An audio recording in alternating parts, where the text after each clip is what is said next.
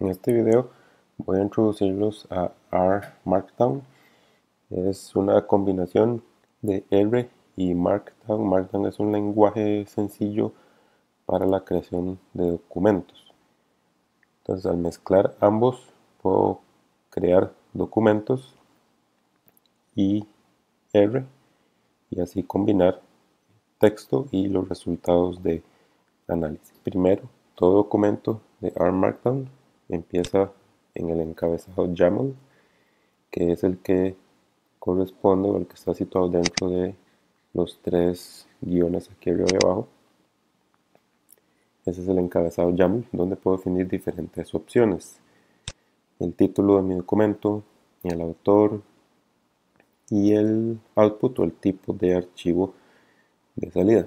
Yo puedo crear diferentes tipos de archivos de salida eh, con el que vamos a empezar es un HTML notebook que tiene ciertas diferencias con el resto de archivos. Estas son algunas de los eh, parámetros o características de, este tipo de documento. Puedo generar archivos de Word, puedo generar archivos PDF y puedo generar archivos HTML. Vamos a ver que HTML y eh, Document y Notebook son muy similares. Entonces, como les mencioné, Markdown puede mezclar texto con código. Esa es la ventaja. Y les muestro esto para generar eh, reportes sin tener que estar copiando y pegando de, lo que me da R a, a, un documento de Word o viceversa, sino que todo se puede hacer en un mismo documento. Yo les voy a pasar unos cheat sheets o hojas guías donde pueden ver todas las configuraciones, cómo se puede escribir en Markdown para que vean todos los, símbolos y cómo funciona. Aquí en el cuaderno este introductorio vienen algunas de las cosas eh, más utilizadas y además eh, todos los laboratorios van a estar en este formato. Ya están debidamente formateados y ustedes van a ver cómo se da esa integración de lenguaje de programación con texto. Entonces, primero que nada, los encabezados van a ser siempre definidos por estos eh, numerales. Un 1 quiere decir es el encabezado 1, entonces por ejemplo la sección 1, si tenemos dos numerales va a ser la sección 1.1, así sucesivamente. Entonces eso lo hace, lo hace automáticamente, yo no tengo que, hacerlo. Puedo generar eh, links encerrando lo, que quiero que aparezca como, como frase dentro del texto, entre paréntesis cuadrados y después en paréntesis redondos el link directamente. Y puedo escribir con itálica o negrita, la itálica es encerrando la frase en, en asterisco o un guion abajo la negrita sería con dos asteriscos o dos guiones abajo. Entonces aquí es donde empezamos a, mezclar eh, texto con, código y siempre todos los documentos de Markdown van a empezar con un primer eh, bloque de código que se llama eh, setup y por lo general no se incluye en el, documento, sino que simplemente para definir unas opciones generales de este documento. Aquí por lo general cargamos todos los paquetes, todas las librerías que vamos a usar, porque a la hora de compilar el documento, Markdown eh, como que corre, corre el análisis sin, sin pensar en lo que ya pasó.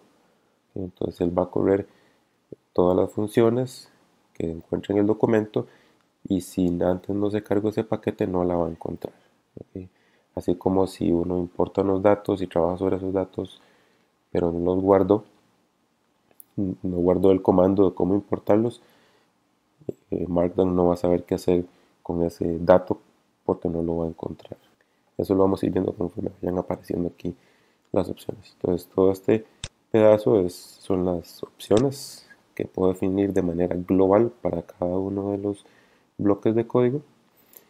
Echo quiere decir que me muestre ese bloque de código en el documento cuando termine este bloque de código lo corro para que vean que, a qué me refiero. Message quiere decir despliegueme cualquier mensaje. Hay veces que algunas funciones despliegan unos mensajes, entonces que no me los muestre porque si no me van a aparecer en el texto y eso no me interesa, a lo mismo que las eh, warnings y los errores. Figurativas para definir una calidad de figura. Aquí puedo definir de manera global el ancho de mi figura, el aspecto que quiero. Entonces esto quiere decir que el, alto y el ancho van a estar relacionados por esa relación. Todas las figuras van a estar alineadas al centro y van a tener un ancho de salida del 90% del espacio disponible. Entonces, cuando yo le hago un preview, el documento se me despliega en el viewer. Probablemente a ustedes al inicio se les despliegue en una ventana aparte, eso porque aquí en, esta herramienta por defecto aparece preview in window, o sea, una ventana por separado. Eh, a mí me gusta ponerlo en el viewer pane aquí para que no, no me aparezca ahí aparte. Y entonces ya ven cómo me aparece el título, el nombre del autor y me aparece una tabla de contenidos. ¿Por qué? Porque en el HTML Notebook le estoy diciendo enuméreme las secciones y hágame una tabla de contenidos. Y ya con solo eso, él sabe cómo numerar las secciones de acuerdo a los numerales y hacer la, la tabla de contenidos. Entonces ven aquí cómo este, aparece el, el hiperlink vínculo al, eh, conforme se definió y aquí aparecen en itálica las eh, palabras o frases que así lo, lo demarqué. Una diferencia entre un HTML Notebook y un HTML Document es que en el Notebook, ven aquí, se me despliega el bloque de código pero sin el resultado. ¿Por qué? Porque no lo he corrido dentro del documento. El documento, no importa si no lo he corrido, él me va a correr todos los bloques de código y me los va a ejecutar y me va a dar el resultado. Aunque no, no los haya corrido yo eh, personalmente, digámoslo así. El notebook ocupa que eh, yo corra ese código para poder desplegarlo. Entonces vemos de nuevo aquí un, segundo hashtag eh, o numeral, entonces sería la sección 2 y dos hashtag o dos numerales ya es la sección 2.1. Entonces los tipos de resultados son consola, que sería este, este tipo de, resultado típico de lenguajes de programación, donde puedo hacer, por ejemplo, 2 más 2, entonces eso me da un, un resultado. Entonces puedo tener el mismo tipo de resultados en, en un documento de Markdown y para correr el bloque de código puedo darle aquí en esta flecha verde o como decía aquí eh, dependiendo de qué sistema operativo yo estoy corriendo en una Mac entonces le doy command option y run o enter y entonces me, corre, me corre.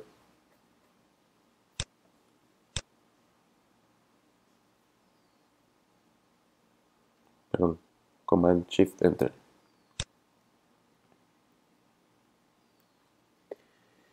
y me corre el código. Siempre me lo despliega en la consola, también me lo despliega en el documento de Markdown.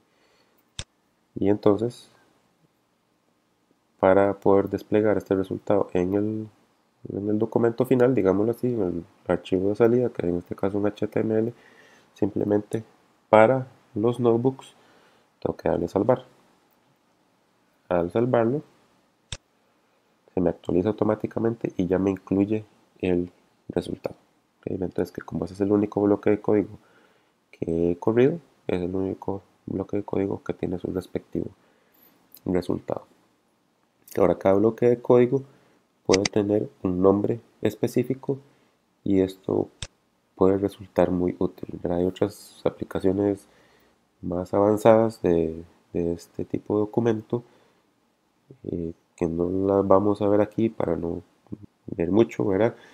Pero este, darle un nombre a los eh, bloques de, código es, bastante recomendado. Y algo que hay que seguir son siempre las reglas lenguajes de programación que no puedo utilizar ni tildes ni espacios. Para, para nada. Ni para el nombre de mi documento, ni para cualquier eh, objeto o referencia que yo esté trabajando en ese, en ese documento. Entonces puedo desplegar simplemente resultados básicos de la consola, puedo desplegar tablas, entonces voy a correr el, bloque de código.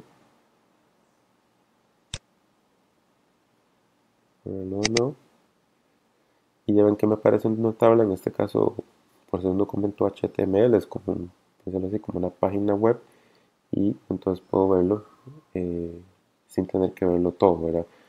Puedo verlo en diferentes secciones. Y a la hora de compilar el documento, de nuevo solamente con salvar,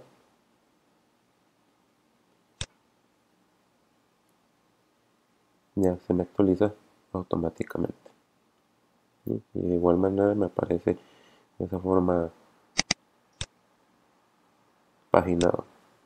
Me aparecen las diferentes páginas y yo puedo moverme entre ellas sin tener que eh, ver toda la tabla. Esto es muy útil, sobre todo cuando tienen tablas muy muy muy grandes. Eh, entonces no tiene mucho sentido pues gastar páginas y páginas eh, o espacio en desplegar toda, toda la tabla.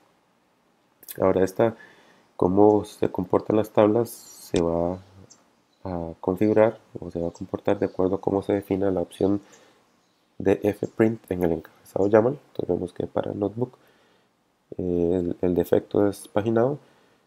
Para PDF le digo que es cable, que es como una tabla un poco más estética. Y para HTML documento, documento corriente, le digo que sí sea paginado porque la opción por defecto es otra. La opción por defecto para un cuaderno, notebook, es paginado.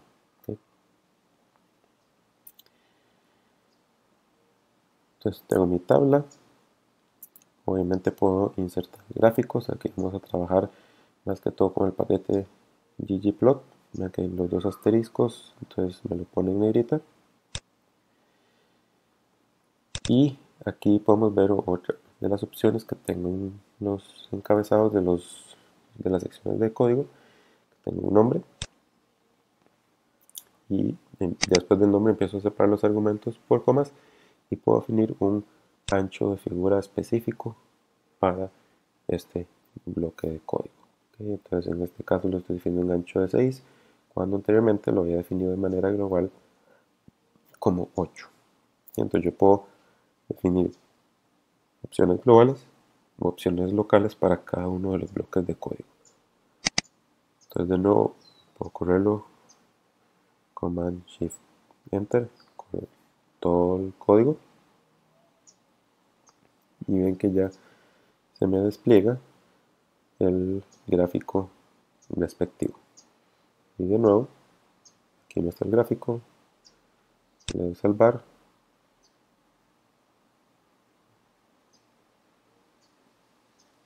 y ya eh, me aparece el gráfico. Creo que no había ocurrido esto.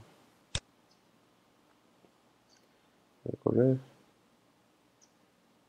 Pues que me están dando unos mensajes aquí que no quiero. Y si lo corro otra vez, ahí está. Y lo actualizo para quitar precisamente esos, esos warnings. Actualizo, guardo.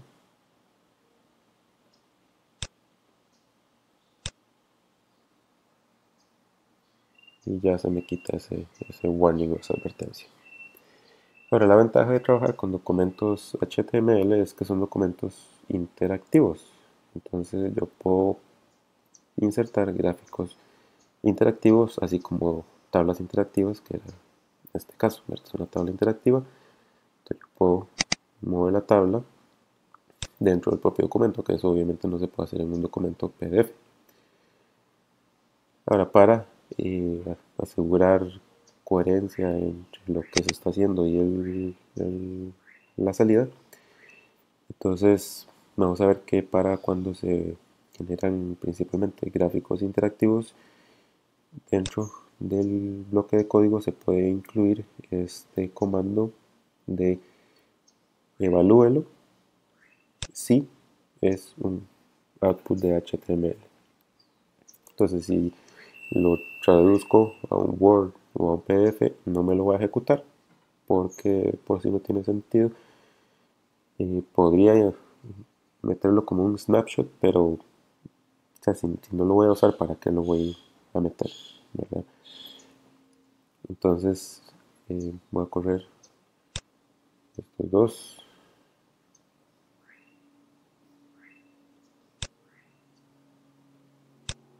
aquí tengo mi gráfico entonces que es interactivo se mueve valores eh, ahorita no nos interesa que, es este gráfico en sí eh, pero es un gráfico interactivo así como este otro.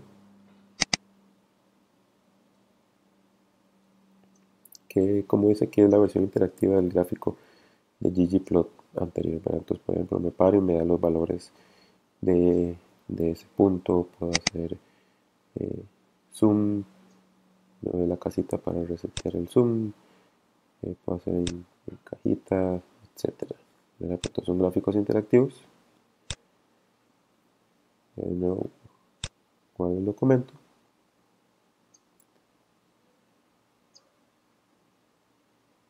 Y entonces ya me aparece el gráfico desplegado en el, en documento. Aquí no sé por qué me sigue dando estos errores de la consola voy a quitarlo porque obviamente no quiero que me aparezca el documento final después de que lo corro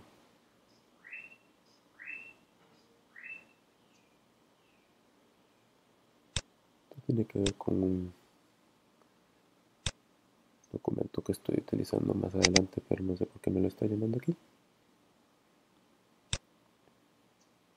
Ahí está.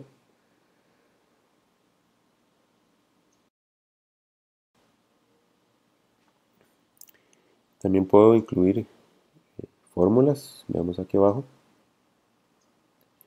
Puedo incluir, fórmulas dentro de la línea, que sería usando, escribiendo la fórmula dentro de eh, un signo de dólar a cada lado o como su ecuación en su línea y centrado aparte escribiéndola dentro de dos eh, signos de dólar a cada lado aquí se escriben utilizando LaTeX ven aquí que por ejemplo eh, puse LaTeX dentro de estas comillas invertidas entonces me lo pone como si fuera un pedazo de código es otro de los argumentos que se puede utilizar en, Markdown.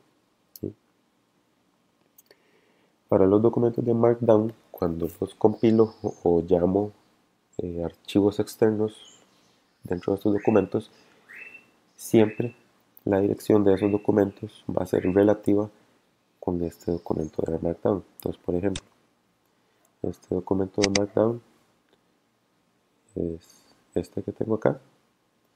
Entonces ven que dentro de esta carpeta en general tengo otra carpeta que se llama data, que sería esta.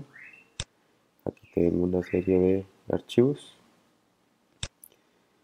Entonces con respecto a este documento, el archivo que voy a llamar está en el mismo directorio en que se encuentra el documento de Markdown, pero en el folder data y el archivo se llama de esta manera.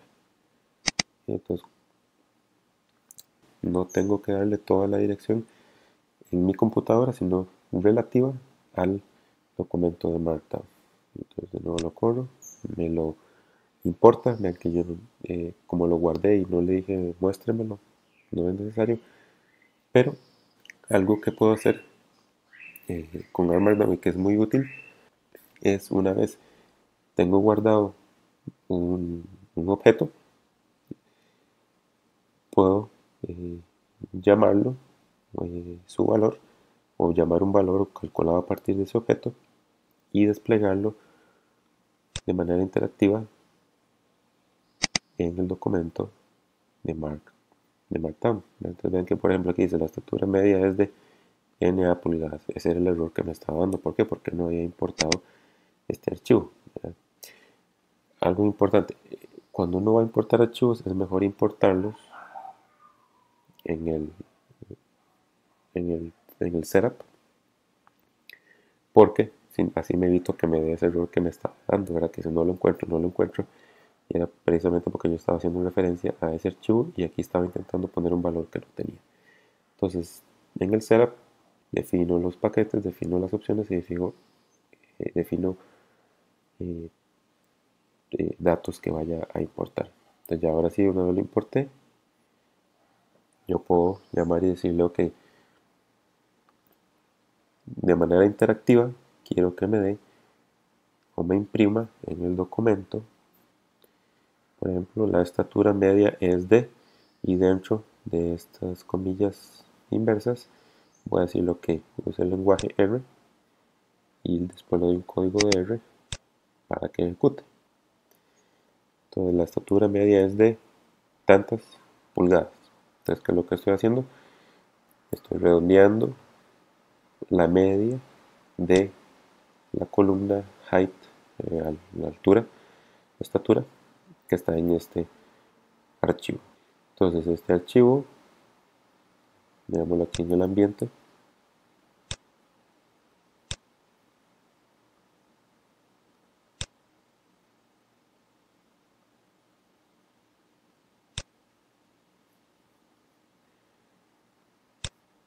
en la columna height, la estatura. Entonces estoy llamando a esa columna, estoy calculando la media y lo estoy redondeando a 2.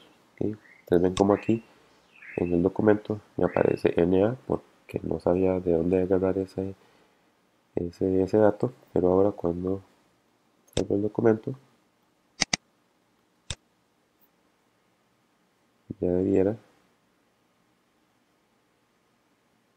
actualizármelo y ahora sí me dice la estatura media es de 61.14 pulgadas. Entonces ahora por ejemplo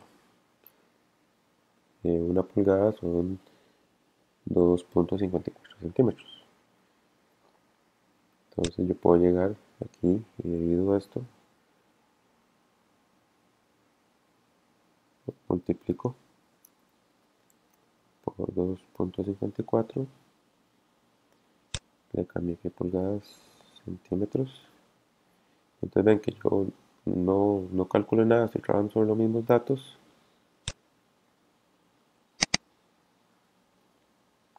Simplemente lo estoy convirtiendo a centímetros esas pulgadas que tenía.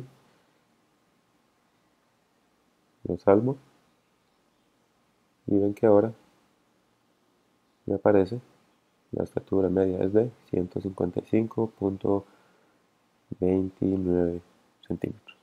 Entonces eso fue simplemente utilizando R como, una calculadora comiéntame este valor a este valor por ese factor de conversión pero yo no tengo que decirle cuál es ese dato que quiero eh, ese dato numérico exacto que quiero eh, desplegar o, modificar, sino que simplemente le digo agárremelo del objeto que, está guardado. Entonces eso es algo muy ventajoso que yo puedo utilizar a la hora de generar reportes. A su vez puedo incorporar figuras. Entonces de nuevo aquí en Files tengo una carpeta que se llama IMGs imágenes y dentro de esa tengo un archivo que se llama rrocks entonces de nuevo con respecto al documento de markdown. Esta imagen se encuentra en la carpeta images del, mismo directorio y se llama entonces cuando la incluyo ya me inserta la figura. Le doy guardar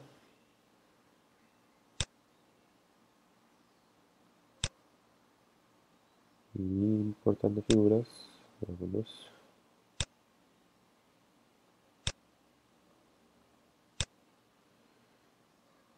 Y ven que ya me metió la figura.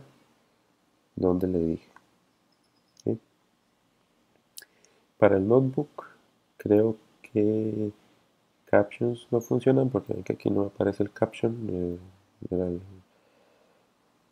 explicación de la figura.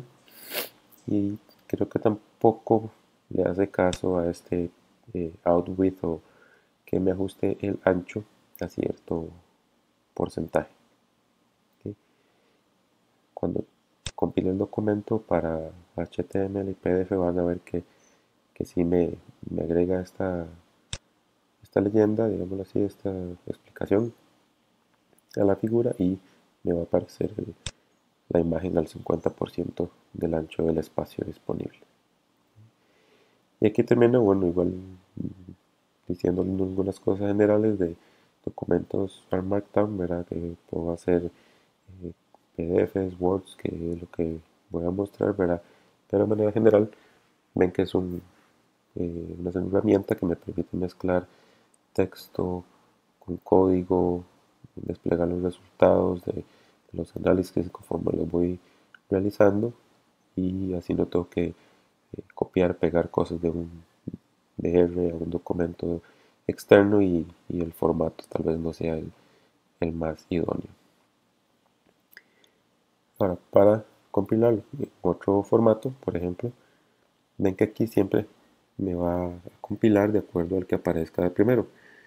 por ejemplo, si le hago clic aquí a esta flechita, le puedo, le puedo decir to html, déjamelo, transformelo en html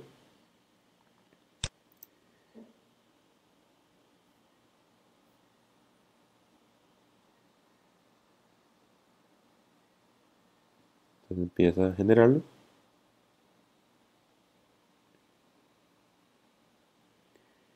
Y eh, ven que ya automáticamente me lo pone como primero en las opciones de salida.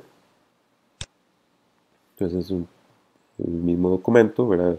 Aquí le cambio las opciones de highlight, eh, de TextMate, TextMate y pigment de uno al otro y el tema que es Spacelab para Document y Flatly para, para Notebook. Ahorita les enseño dónde pueden este, ver las opciones.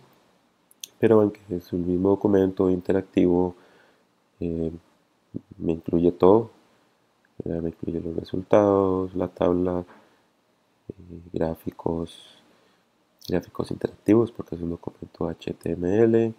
que aquí dentro del mismo documento puedo hacer las manipulaciones de los gráficos como hemos visto dentro del, cuaderno en sí. Tengo las fórmulas, importa el dato automáticamente y me lo eh, me realiza el cálculo que yo le pedí por fuera. Me importa la figura y vea que aquí sí me la redujo al 50% del ancho y me puso la, el, caption de, que, yo le había definido de R rocks. Y Asimismo se me generaron una serie de documentos que están relacionados con este archivo HTML. Eh,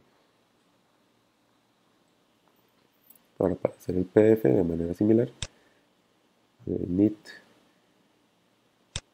PDF, que me pone el PDF como primero en la lista de opciones de salida. El PDF por lo general tarda un poco más en compilarse y se va a desplegar en una ventana aparte. Entonces ya este es mi documento y ven de nuevo bien estilizado, bien formato, con buen formato, tabla de contenidos, me mantiene los, los, formatos itálicos, eh, negritas, los, los números de las secciones, me incluye el código, si le digo que lo incluya, incluye el resultado, ven que este es el, el, formato de salida cable para una tabla, pueden probar con las otras opciones, ahorita vamos a ver dónde están para que vean que este, por lo menos para PDF es el, que mejor se ve. De nuevo, negrita en el documento, el, código, el gráfico, que si se acuerdan estaba hecho a 6 pulgadas de ancho, ven que no me aparecen los gráficos interactivos porque no es un documento interactivo. Las fórmulas me aparecen de igual manera, el valor calculado, la figura y en este caso inclusive la figura me aparece eh, numerada. Entonces este es mi documento final. Y cuando genero estos documentos, de nuevo se me generan ciertos archivos auxiliares. Aquí está el, el PDF, el, HTML, que lo puedo abrir, por ejemplo, con un navegador. Entonces me aparece el navegador. Era como una página web, es una página web que yo creé, digámoslo así, solo que de manera local. Y se me genera una carpeta donde, por ejemplo, se me van a guardar las figuras del HTML que van a ser en formato PNG. Y vean que dice gráfico 1 de dónde sacó ese nombre. Es porque al bloque de texto donde yo generé el gráfico se le llamó gráfico. Entonces, utiliza el nombre del bloque de código para ya nombrar a la figura. Si hubiera más de una figura en un bloque de código que no es lo ideal, entonces le pone gráfico 1, gráfico 2, etc. Entonces este es un PNG cuando es HTML y cuando es un PDF, entonces genera una figura en PDF. Entonces, este, esto eh, sucede porque aquí yo incluye, por ejemplo, en el PDF keep text, entonces me mantiene ese documento LaTeX que genera eh, escondidas, digámoslo así, la que yo no tengo que saber látex, sino lo, genera automáticamente y me guarda la figura. Así como HTML de documento, dije keep MD, keep markdown, mantenga el markdown y me guarda entonces esas figuras eh, en PNG que yo después las puedo, mandar a alguien o, las tengo ahí como un archivo aparte. Verá, y ven que yo no tuve que exportarlas, sino que él automáticamente me las guarda en una carpeta con el nombre del archivo que estoy utilizando eh, y agregando eh, guion abajo files. Ahora, ¿dónde podemos ver las opciones que tengo para todos estos eh, formatos de salida? Entonces, todo esto es de Markdown, paquete de Markdown. Entonces, por ejemplo, HTML, poner el. Entonces esta es la ayuda. Y ven, todas estas son opciones que yo puedo definir en, el encabezado YAML. Puede ser eh, true o false o yes no. Entonces tengo tabla de contenidos, la qué tan profundo quiero que vaya esa tabla, que si quiero que me enumere secciones, que aquí le puse que sí. Eh, ve que ya viene con un ancho de, figura, alto de figura, que me ponga las eh, captions, que me lo exporta como PNG df print vean que aquí parece default entonces aquí yo le puse page en las opciones eh, el tema highlight que, que eso es simplemente cómo quiero que se lo, que lo despliegue estos, estos colores por ejemplo ustedes pueden probar ahí con diferentes eh, opciones de las que de las que aparecen y entonces estas son las que vienen por defecto, pero aquí vienen, por ejemplo, dfprint. Entonces, ¿cuáles son las opciones? Default, Cable, Table y Page. Entonces, por eso el HTML le puse Page, para que me lo pusiera así paginado, y no toda la tabla eh, seguida. Y aquí en tema, entonces tengo todos estos donde puedo escoger y el highlighting, el tema es la apariencia general, el highlighting es cómo quiero que se vea el, código, eh, los colores del código, eh, los colores de la tabla de, contenidos, ¿verdad? Que todo eso uno lo podría personalizar aún más sabiendo eh, código cómo escribir páginas en HTML, pero obviamente eso no lo vamos a ver acá. Pero con solo cambiar estas opciones puedo tener diferentes sabores, digámoslo así. Entonces, todo eso va a cambiar, la apariencia va a cambiar dependiendo de esas opciones. Y por ejemplo, entonces sería que aquí el 15 aparece en azul. Aquí los, el texto dentro, o sea, los números aparecen en azul, los textos aparecen en verde, etcétera, etcétera. Todo eso va a cambiar de acuerdo al, al, formato. Si lo ponemos otra vez a preview notebook,